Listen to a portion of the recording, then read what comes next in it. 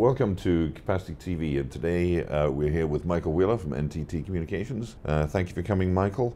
Michael, uh, how important is network security for NTT Communications and for global carriers in general? Security in general is very important, I would say, for not only us, but for anybody that's in that space. Um, there are offerings and there are, are, solutions for customers, but there's also just infrastructure and protecting our own network and doing the right things to make sure that we have a, you know, a solid business in place operationally. What solutions does NTT Communications offer against threats or attacks on networks? First and foremost, any customer who's a customer of ours can get access to things like uh, black hole routing as part of their BGP setup. We even offer uh, something called selective black hole routing, which allows them to be a little more uh, granular in filtering out traffic that they don't want coming to them from different parts of the world. Those are just free parts of the service that we offer as a transit customer.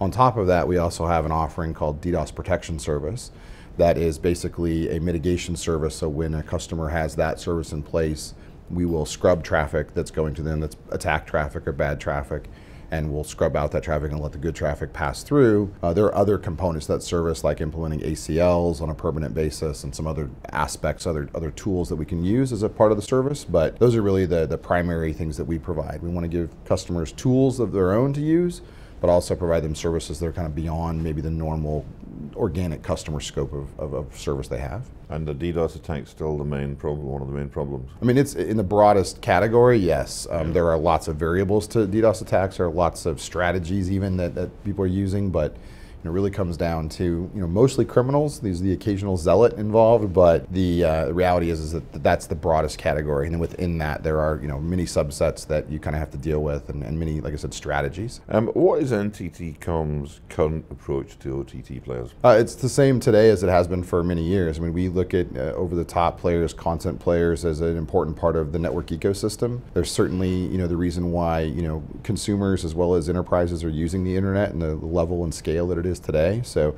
they're a very important part. In, in many good ways, they create challenges because their you know content and the, and the use of their content drives demand for end users, and so that creates you know a challenge for us, positive challenge, but a challenge nonetheless. Well, it's good. That's a good question, isn't it? How do you deal with those challenges then? Well, it's a part of just managing our business, and we, you know, with some of those larger customers that we have, we really have to be very proactive and very uh, collaborative with them, even to understand where their plans are taking them network-wise, geographically, but also from a volume point of view. Um, and so, you know, that's a part of our just standard business process, working with those different players.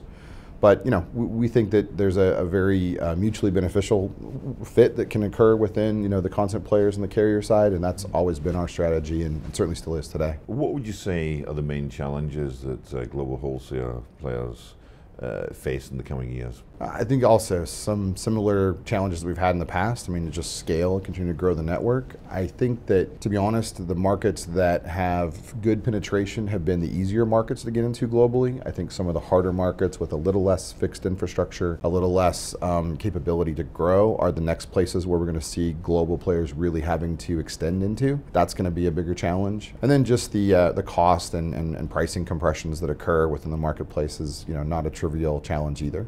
Well, Michael, thank you very much for coming in to talk to us at Capacity TV, and uh, we'll see you again very soon. Thanks for having me.